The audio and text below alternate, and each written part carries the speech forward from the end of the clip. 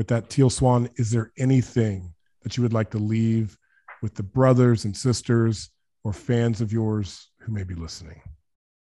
Yeah, actually. Um, I think what I would like to say is that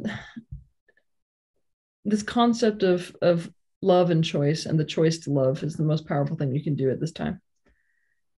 And it it's interesting because love sort of takes you in the direction of taking the other person as a part of oneself and therefore acting in the best interests of others,